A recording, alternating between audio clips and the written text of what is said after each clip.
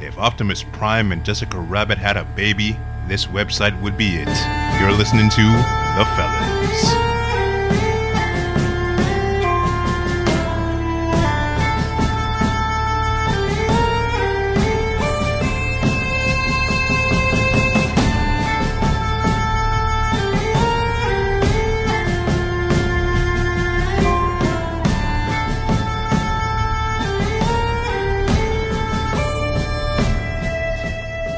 This is not the movie that we deserve, but this is the movie that we need. Hold on, let me move this mic here. Hold on, guys. Yeah, there we go. Yeah, yeah, All there right, you go. you hear me a bit better now? I can hear you. Yeah, I was sitting in the corner all melancholy and shit. But that's to be expected. Hey, everybody, you're listening to the fellas, and usually we're a bit more jovial. You know, we try to start the new year off jovial because we usually are jovial because we survived the new year. You know, Yeah. it's typically like bombed out version of Baghdad down here with all the bullets flying. But I, I don't know where it is. But after, and maybe this is just me, something about after we watched Star Wars, Yeah. I feel like empty. Like you ever been in a relationship and you've known for a while that it's over and you're just going through the motions and then it gets to a point where you finally announce, okay, you know what? That you know it's over, I know it's over, it's over. Let's just go our separate ways. You go your separate ways, you collect your stuff, she moves her shit out of your place, and then you just have like one full day to yourself and you just Yeah. feel kind of empty. I kind of feel like my passion for the movies is gone. No, I don't know what it is. I just feel fucking empty. I, it's just the exhaustion of of everything. Oh, you mean doing one review every like two weeks when I decide to get off my ass is a bit too much, maybe? No, no, no, it's not that. I guess it's just a lot of the movies were shit. It's January for crying out loud. Well, that's kind of why I wanted to see this one. Even though I had no reason to want to see this one, I wanted to feel something. So, what we saw today, by the way, guys, uh, we saw 1917. It's a good year. 1917. Yeah, and I was like, you know what? This is a movie about stalwartness and heroism and, and pain and sacrifice and just gung ho attitude. And at the end of the day, all it did was reinforce the fact that the world we live in today is populated by nothing but giant pussies. I'm one of them. No, don't get me wrong. I'll, Yeah, yeah. I'll toss, compared to these guys, yeah, I'll toss myself in that I category. mean, it's kind of silly what I'm about to say, but I was just thinking about this. Mm-hmm. This whole movie was shot like it looks like in one take. There was like Oh, no camera cutting. Yeah, yeah. Uh, this this is by the way, guys. This is a World War One movie. Yeah. and I didn't notice it until you pointed it out. The whole thing was in one take, and that's part of why it felt like you were really in there. It felt like you were right there. Yeah. It made a huge difference, and it made it a beautiful movie. The only setback is these guys had to go across like half half of like France, and it, it looked like they were going like a block and a quarter. Yeah, well- it looked like they were walking right around the corner. Well, I was just the reason why I said I was going to say something silly was because there's a moment where he's walking through the trenches and you see all these guys. They look absolutely bored, and I was thinking maybe someone's going to like Photoshop all these guys using like cell phones, like imagine 1917, but in today's world with like all these guys just sitting there Well, that's sleep that's because no, that's because you're incorrectly getting what they're feeling. You say, "Oh, they all these guys look bored." No, that's not boredom. That's fatalism. Oh, okay. That's when you realize that when it really, really sinks in that you are not a fucking snowflake. You are not special. No one will know or care when you die. Oh well, it looked like it in What this movie. what what happens is gonna happen, and all you can do is just say, "Oh well."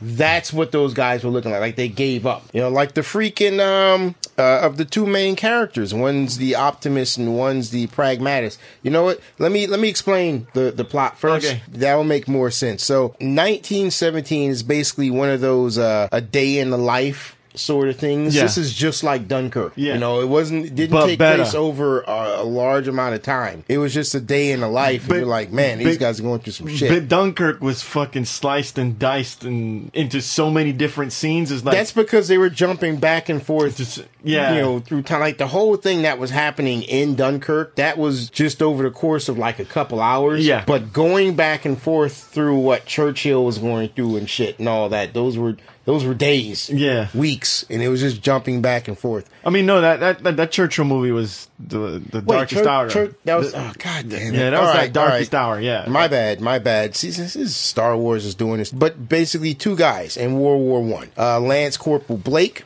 played by Dean Charles uh, Chapman, and Lance Corporal Schofield, played by uh, George McKay. The whole thing comes down to, hey, I need you to do me a solid. Take this letter over to this guy. Yeah. Sounds easy enough, right? Yeah, just take this letter to this guy. In today's world, yes. In Right, and back then's world, no. all the trials and tribulations that it takes just to give like a two sentence message to another guy. Yeah. But that two sentence message could save the life of like 1,600 men, which I was checking some documentaries, by the way. Yeah. And they were like, oh, 1,600 men could die in that assault. And it was like, that was a fucking joke. They, they were, I think it was 16,000 men. no, he said 1,600 Oh, okay. but like people were talking about it like 1600 men dying that would honestly be considered acceptable losses because of how many people they were fucking losing just over a couple hundred fucking feet you know 1600 men to gain a couple hundred feet would be acceptable losses yeah, you don't want to lose them, but they were acting like this was the end all be all. But I digress. Anyway, they get selected to deliver a message from this general saying that, hey, uh, this guy over here, this uh, this colonel, is getting ready to make this this huge push because he sees that the Germans are retreating, but they're actually just moving back to a stronger position. Any of the men who go over there are gonna basically just get fucking eaten up it's gonna be brutal. So he's like, yeah, you need to go and tell the colonel not to launch that attack. I think it was, I think it was Colonel Collins. I think it was played by um, Richard McCabe. I think that's who it was, Colonel Collins. So it's like, yeah, you got to go over there, or a bunch of guys are gonna die. So get to it. And the whole thing is, Corporal Blake is sort of the disillusioned soldier Yeah. who's seen too much bad shit, and Corporal Sh- uh, Schofield is still kind of, you know, hopeful. Ours is not to reason why, it is but to do or die. And, you know, Blake is kind of like, you take that shit and fuck off with that. They show many times, like, he got um a couple medals for bravery. Yeah. And he's like, yeah, I traded it to some French dude for a bottle of wine. He's like, I, oh, how could you do that? Those are your medals. He's like, it's just some fucking pieces of metal. It won't make up for what I've lost, namely my innocence. you Yeah. know? That's the idea. And also, you mentioned how uh, on shore leave, he doesn't go back to Britain. He, he just stays there because he doesn't want to go back to see his family and to see all that, that good stuff, knowing he has to come back out here to this shit. Yeah. He's like, it makes it harder to come back. So it's too painful to see all the things I've lost by being here. So I'm just going to stay here. Well, You I know? think you're forgetting one other main character too. Who? The background. There's so much shit uh, I see, going what on. you, I see what you did there. Yeah. I was gonna say, yeah, I was ready to jump up and whoever you're gonna say, I was gonna say that person doesn't fucking matter. Yeah. nobody matters except these two. But you got me. Yeah. No, the the background does matter a lot. In fact, the background had me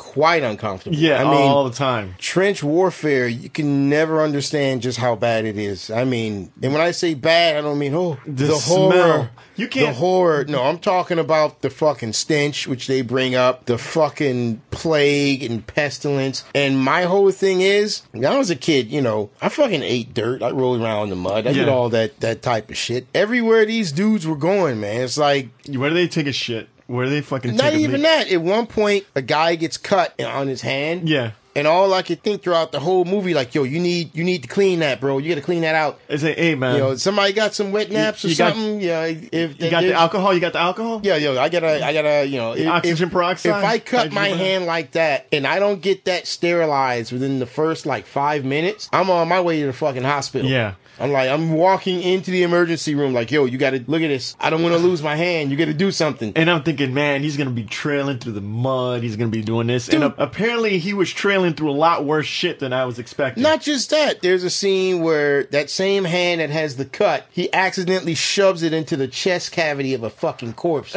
I would spend like five minutes staring at my hand. Everybody, I'd just be staring at my fucking I think hand. everybody in the theater gasped at the same time, like, "Oh God!" And it's not the fact that, oh, there's a dead body there. I'm like, no, dude, your fucking hand went in in there. yeah. I could not scrub. I would have to scrub my hand and fucking lie and just burn it. Just burn until I see the white meat. Yeah. That's the only way I would think my hand is clean enough. And then you got them, other than that, you, you got them going around, walking through all that mud, right? They're going mud- through the mud wasn't bad. The mud was the least mud of wasn't bad, but the mud's going up to your knees. And I'm imagining that's me. Yeah, The moment I get out of that mud, I'm taking my, my shoes and my socks off and I'm washing my feet. yeah. Like, yo, your fucking feet sitting in mud. That's that's just dirty. But that mud, That's dirty. that mud is lined with a lot of blood, rats, Shit. and gore Shit. and shit. and shit. Yes, I just I couldn't do it. And I'm then, like, look- then, then you're down there, and I'm thinking the whole time I'm going over how much of a pussy I am because I wouldn't be able to do it when they're inside the bunkers for the trench warfare, whatever. Yeah. and they're just walking around rats everywhere, just hmm, eh, whatever. Yeah. just walking around rats as big as my fucking head. They're but eating fucking yeah. rats going around like you got to live in this bunker with this rat. You.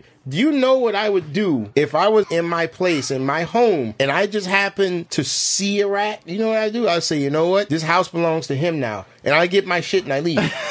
People like, oh, just get an exterminator, just one rat. I don't give a fuck. I saw him. This house is his. I could not live here. This place is tainted. I'm fucking gone. First world problems, everybody. First world First problems. world problems. And thank God I wasn't born in 1917. That's for damn sure. Oh yeah, you would have died like five years later. I think that was a life expectancy. Well, uh, of what? Tuberculosis or something? Roll a fucking roulette wheel and find out. Of- Don't of- worry, you'd have had six kids. Uh, You know, within your first five years of life, but after that, you're on ro- borrowed ro- time. Roll the roulette of what kind of diseases I might have died from if I was born in the 1900. Exactly. What can I say? You take your good with your bad. Do what you want, but then also you get sent off to war to die. That's the one great thing about making it feel like it's one take. The suspense doesn't let up because you can't feel that you're calm at all. Because if they cut the camera to a different scene, you're able to relax. In this sense, Yeah, you know he was happens. in trouble all the time. Constantly, non-stop, non-stop. I mean, there was a sense of urgency because Blake's brother, I think, is like a lieutenant yeah. Or some shit like that. He's uh he's uh one of the the older brother Stark that was Oh, killed. Rob. Rob, yeah, he's Rob Stark. yeah, you, Lieutenant Joseph Blake. You know, there's anxiety that you have to get there as fast as possible. You got to hurry up. You got to make it happen. Yeah. Because he doesn't want his brother to get killed. And the one thing I liked about it is anybody that you would recognize, like Mark Strong or fucking uh, Cumberbatch, uh, anybody else that you would recognize that as a kind of famous actor, they kind of let these no name guys good take care of because you can focus on their acting instead of saying, "Hey, I wonder what this famous guy is going to say next." And by the way, I will point out everyone's acting was superb because everyone just felt like I am over this shit. You know, every, everyone was melancholy. Yeah. There was no we're the good guys, we're gonna make it happen. Ah, fucking Germans will push these fucking animals back where they belong. They look tired, man. Everybody just looked like I am fucking done with this. the Germans, the British, everyone's just like, I just want this shit to end. I just want it to be fucking over with. And, and the thing is, just like, I man, um, this is war. And there's moments where, like, look, man, my enemy's there. Do I want to chase him down or, you know, fuck, man? Well, I- that was that was some of the thing that kind of bothered me a little bit because there were some instances. there's that scene in the city where it's like, dude, there's nobody in command. It's just me and somebody else. If I see, like, look, man, you just fucking go. I, I'm, yeah, I'm that's tired that kind of got me. I'm like, yo, we're running through the city, shooting wildly and chasing after one, One guy. guy. Yeah, I'm like, dude, the city is ours. It's been bombed to rubble. Fucking let him go. Yeah. If I bump into him, I'll take him. But I ain't. I'm not running for this. I'm not. I'm like, Yeah, I'm not. I'm not getting out of breath. I'm fucking tired. Just fucking let him go. I like his journey, but there's certain scenes, even when he met that sniper, the sniper could have just let him go. But I guess they wanted to fortify, to retreat, leave a couple of guys there to take out one or two guys, just to fortify another position. Well, what would have made sense to me, the whole thing with that sniper, wasn't so much the sniper letting him go. It, I mean, you're in an elevated position. You can see a guy. Fuck, let me take a couple pot shots at him. I don't have to run around. No, what got me was him trying to go in there to find and kill that sniper. Yeah. Because it's like, I don't know what's in that building. There can be like 20 guys in there. That's I, true. I have an important mission, which is to deliver this message. I'm not going to be playing hero. I'm not chasing down no fucking body. I would have had him run close to the house so the sniper can't see him because he's too close to the house. And then I had him run off in the opposite direction. That's all you got to do. There's moments where like I'll be taking a shit, but one thing they do show here that's actually really awesome is they show the human condition where it's fucking fight or flight. Mm-hmm. Oh, yeah. Fucking run. Yep. Run, run, run, run, run. They should have, should had that uh, song, uh, Beautiful Run or something. And the thing is, you know, this guy's gonna be a big action star, George McKay, because Oh, if yeah. he if he's in a movie and all you're doing is running, that's what I call the Will Smith effect. That motherfucker runs in every movie. I think, of course, the very last scene, Yeah. was the most, Most traumatic one. It's like- it was it's like, intense. dude, the colonel's right there. He is right there, and they're already starting the advance. All I got to do is get to him. He's like fucking a hundred feet away. Yeah. And at that point, he is so desperate. He's like, "You, I came all this way and still failed Yeah. because they're already Right. launching the attack." He's like, "Fuck it." He jumps onto the fucking battlefield and runs across the battlefield, and that's kind of when your adrenaline's really pumping. Because honestly, I thought they were gonna just get the letter and be like, "Ah, fuck it, man, we already started." Yeah. and just have them go through with it, and everyone dies. I'm still very pleased with the ending because at the ending, it's like you expect, oh, he's gonna get a medal for his heroism or something. It's like, no, it's like he gives the guy a letter.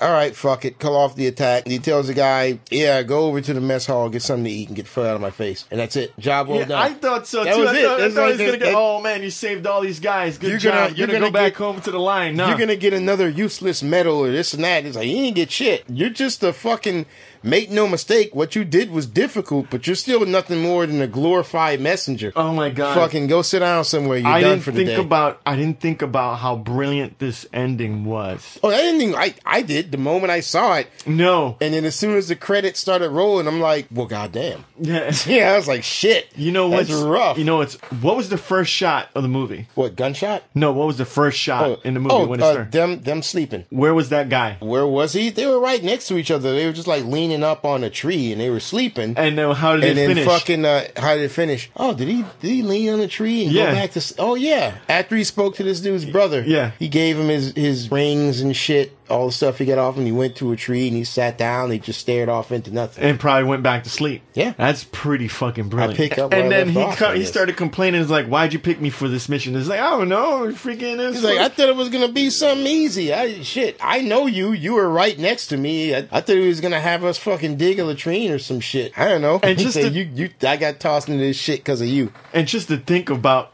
what one day is like in this war. Yeah, and that's all this think- was was about 24 Right. hours. Yeah, it was just 24 hours of him trying to get to the front lines. and it's it's fucking terrible, dude.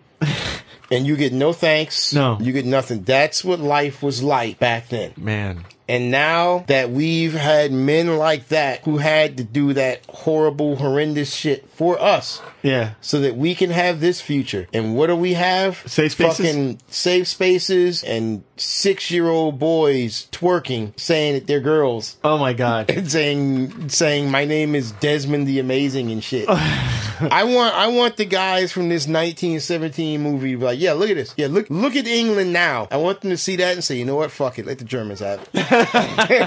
I'm not. I'm dying for this. Yeah. Nah. When when life is too easy and too simple, you end up with degeneracy, folks. There you go. I think Rob Dark. I can't even remember this actor's name. Mm-hmm. The, the the two minutes he was in this movie, man, how he knows how to turn feelings from well, it was happy good because to being destroyed. because you could see there were no tears. No, but you could clearly see the conflict in his He eyes. was holding that shit back. Like you're a man, so you don't cry. You need to be tough because you know if you can't handle this, who's gonna handle it for you? Yeah. You have to go home to your mother and explain to her how her son died. And you need to be strong because she won't be. She's gonna need you. So he just sits there and he just like, so how did he die? He died like a hero. You know, it wasn't painful and this and that. And you'll see him stop looking at the guy and just look off to the side a bit.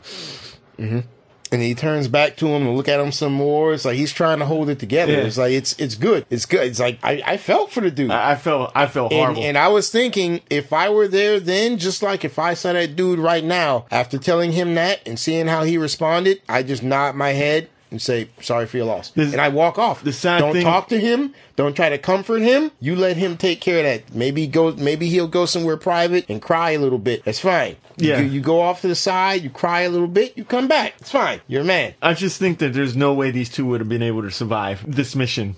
One of them had to go because they were dealing with way too much shit. There was just too many obstacles. Well, yeah, it's certain parts in the movie. Absolutely, one of them it was inevitable. One of them would have had to die. Just that sniper scene, one of them would have died. Them going through that Yeah, bombed out city, no way both of them would have made that. No.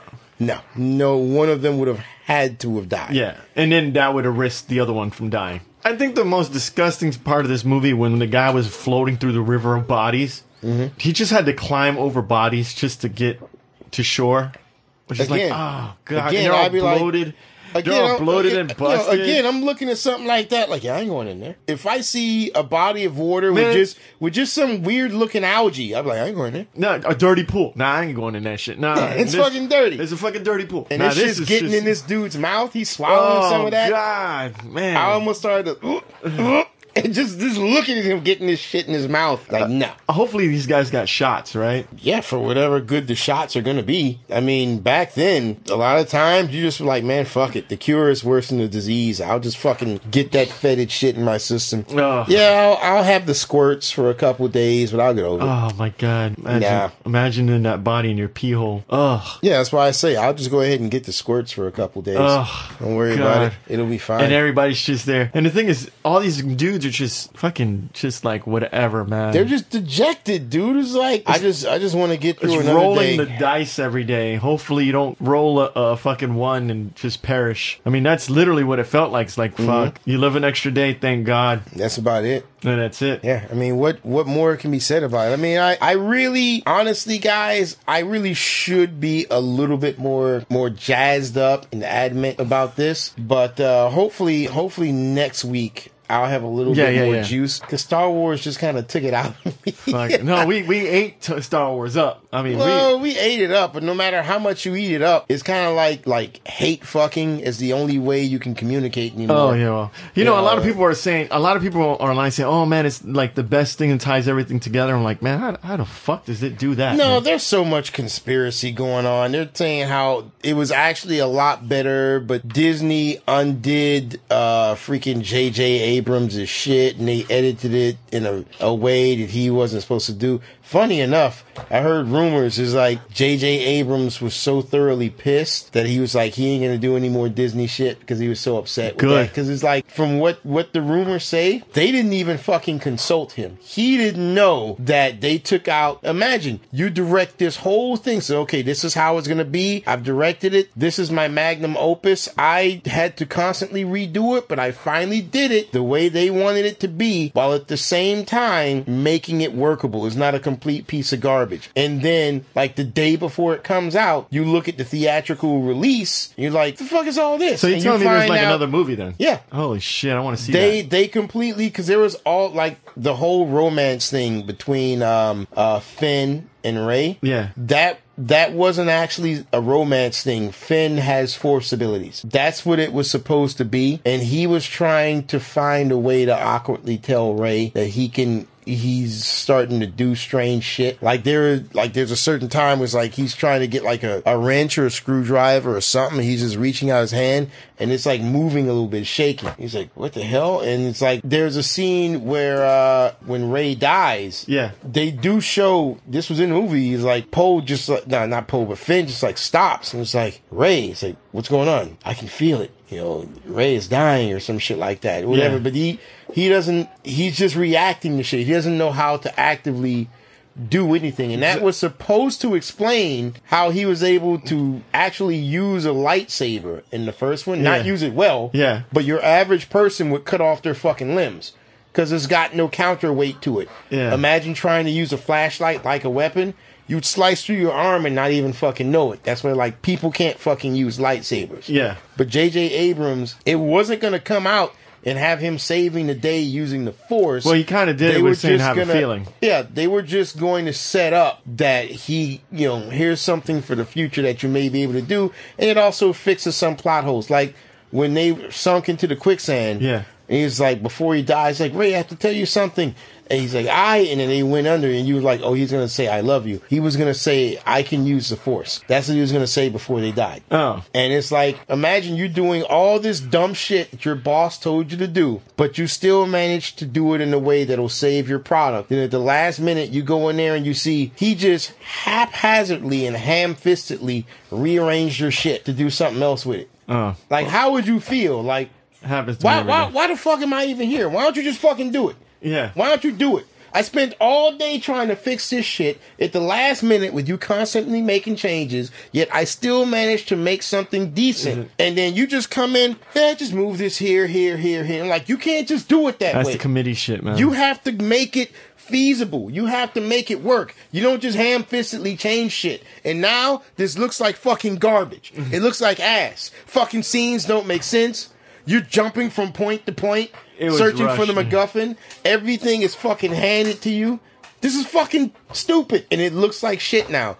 And they were saying he's just super pissed that in all of his years as a director, he's never had someone go behind him and do some shit like that and don't even give him the goddamn common courtesy to say, hey, look, we need to make these changes. Look over these changes we're making. No, we're just going to do it and put the shit out there. so that He means like, Kathleen Kennedy unbelievable. and uh, Bob Iger are the ones that. Ain't, ain't shit going to happen to Bob Iger. He's well, he's retiring. He's he's out. Yeah, but either way, he's made Disney fucking bucket loads of money, so he's fine. But Kathleen Kennedy is going to be sucking dicks in an alley somewhere. Oh. I mean, well, she's rich, but I mean, she is not going to be handed the reins of anything coming close to the value of this ever again. Yeah, yeah. She can't She sing, she single handedly took a goose with a golden egg. This IP was just miraculous, and she did so much damage to it that this intellectual property will never Recover. have the value. No, it'll it'll recover. It will never have the value that they paid for it. Never again. Because anything dealing with Star Wars from here on out that you go into, you're gonna go into with not optimism, not optimism, not cautious optimism, but cautious weariness, and that's bad. Uh, yeah, actually, That you're right. I'm kind of worried. I'm You're worried expecting it to be bad, and you're trying to see how bad it's going to be. From something that people were just busting nuts for, to people coming in just to see how quite how bad it's going to That's what we went into. Yeah. You just fucked up be? this IP. You just fucked it up. But now they're handing it off to uh, your boy who's in charge of the Marvel shit. Uh, what's his face? Kevin Feige. He's they're gonna give Star Wars to him. He wanted that shit badly. Hell yeah, he wanted that fucking shit. He wanted that shit so bad. They're I'm pretty sure they're gonna give it to him. well, Kennedy's problem was she was like, "Oh, the IP will just print money. There's nothing we really have to do." But since it's gonna print money anyway, I'm gonna shoehorn in all this bullshit, and she killed it. Yeah. she fucking killed it. it was a gem. How the hell did we go from talking about this great movie 1917 to, to right being sucked right back into fucking Star Wars? again? I know how we got here. It's because all those men in the trenches were the freaking Star Wars fans, and that's how we felt. We were abused. We Well- were battered. Well, I, I didn't. We were fighting a fucking war against. Well, I didn't mean like in an analytical sort of way. I just meant we were supposed to be reviewing this movie, and now we're back. To You see all the fans. You again. see, you see the Germans represent the Disney corporatism. Oh Jesus! gunning Christ. down the the Star Wars, the diehard Star Wars fans, and just like in that battle, that final battle where they were shooting those, the artillery was gunning down those brave British souls, and those guys that were falling, they were the Star Wars fans, gunning down their hopes and dreams to see something awesome. What's that clip from Billy Madison? That is the stupidest thing I've ever heard. Through your rambling analogy, you never once made anything coming close to a coherent structure. And we are dumber for having heard you. I award you no points, and may God have mercy on you. That's that's what that was the equivalent of. Let's let's go ahead and rate this. This movie, honestly, I'm sorry for not boosting it up a bit more, guys. This movie was absolutely phenomenal. And my thing is, I could say it's good, but the cinematography put it completely over the edge. It's- it's that that level. one that one camera shot throughout the whole thing and also the acting phenomenal but the most important thing just like this was great and dunkirk was great unlike dunkirk i would see this a second time I uh, I would see this Yeah. a second because I bet you there's things I I could notice that I didn't, didn't see notice, before. yeah. It just feels good. I love these movies that are just like a day in the life, like Dredd. Yeah, like I love that Judge movie. Just a day in the life. Nothing big, no nothing super. Oh, I'm gonna take down this giant crime syndicate and I'm gonna put the city on the path to peace. No, this is just an average day for him. What does he do when he's done? Put my helmet on. All right, let's go back out yeah. our shift isn't over yet. And I love that sort of thing. For that, I'll give this a full price. Wow. I remember I didn't give Dunkirk a full price because as good as it was, I was like, I wouldn't really watch, Watch it twice. again, yeah. I'll watch this at least two more times. This- I'll give this a full price. this movie made me feel a lot. I felt like shit leaving this movie. I, it's really weird. Like I had that gut disgust and feeling about where I was. It's, it's weird. I, felt, I felt empty. I felt coming- very- Mm-hmm. well. Here's the thing. I felt empty coming to see the movie, yeah. and I felt full of self-loathing when I left the movie. I felt like shit it's leaving like, what have you movie. done with your fucking life? Fucking sitting here complaining because the movie you paid. 18 bucks to see wasn't quite up to your liking and also the soda at the concession stand was warm. this motherfucker was reaching into corpses and getting his nuts blown off Not by choice. for for for nothing at all. For a ten fucking piece of metal and an attaboy and a pat on the back. yeah, not even a thank you. Just like, hey, Get back to work. get back to work. Yeah, that's all. Don't- it is. all All right. right, I got the letter now. Fuck out of here. That's that's about it. And lucky if you get fucking bread or even Yeah. water. Mm-hmm. That's tasty. No, you're gonna get like fucking cardboard blocks, whatever is available. So what are you gonna give it? I'm gonna give this a. I want it inside me Okay, that's fair. because fuck, man, this made, movie made me feel more than I wanted to. I felt like shit leaving this this movie. I, I felt wondering. I was like, he's gonna go home. Will he make it? Is he gonna survive? I genuinely I had no. What you're trying to say is it comes down to one simple sentence, Rey. You genuinely gave a fuck. yeah.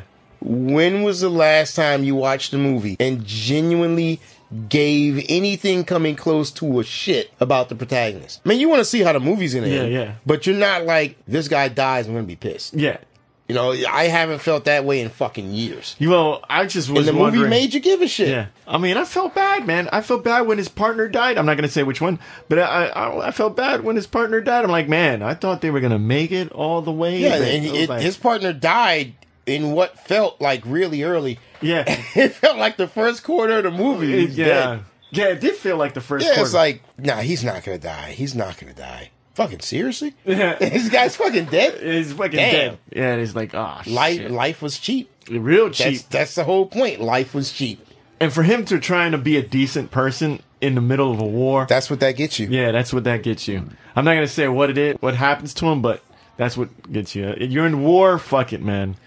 I would have just said let that motherfucker burn, but you know, So you're gonna give it, and I want it inside of me, Yeah. and I give it a very high full price. I think what's fair, a, a, a low, I want it inside Inside of me. So Okay. this this movie ends with an it's I want it inside of me. the wa- and also take your young teenagers who constantly complain about bullshit to go see this. Yeah. Only because this is what people had to endure. Yeah, and then once the movie is done, give him a fucking haircut. Yeah, and Cut send them out. fucking cut that fucking hair. I was astonished So at don't how come back until you make something of yourself. I was astonished how those helmets stood on their heads.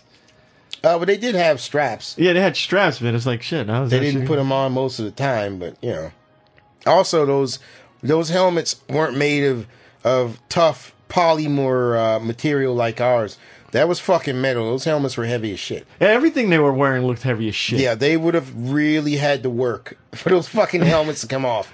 That's like some some bad spinal problem type shit. Yeah, no, those helmets were heavy. They weren't coming off by accident. No, well, they got blown off. See, now you now you've gone and made me sad again. Oh. Hit the hit the music. All right, don't forget to visit us on our website at g2ta.net. Got to talk about, talkaboutit.com. And don't forget to subscribe on our YouTube page, you guys. Jeez, man. Murder, death, kill, as they say. Murder, death, kill. You know, it never occurred to me with all the shit that was going on. Really, what was to stop that dude from just being like, "Fuck this," and then just walk off into the French countryside? They never would have found him. That's true, actually. He could have just been like, once he dropped That that, dude died. yeah, once he dropped that letter off, you'd be like, yeah, go to the mess hall, get something to eat, and rest. I would have gone, given his brother his shit, and I would have just fucking walked the fuck off. You know what's They funny? never would have saw me again. You know what's funny? Everybody saying you ain't gonna make it, man. Yeah. I mean, everybody that he bumped into is like, you're not gonna make it And there. what's worse, with his with his pragmatic attitude, he would have agreed with him. But- yeah. yeah, but he made it. So Shit. there is hope. Yeah, there's hope for us all.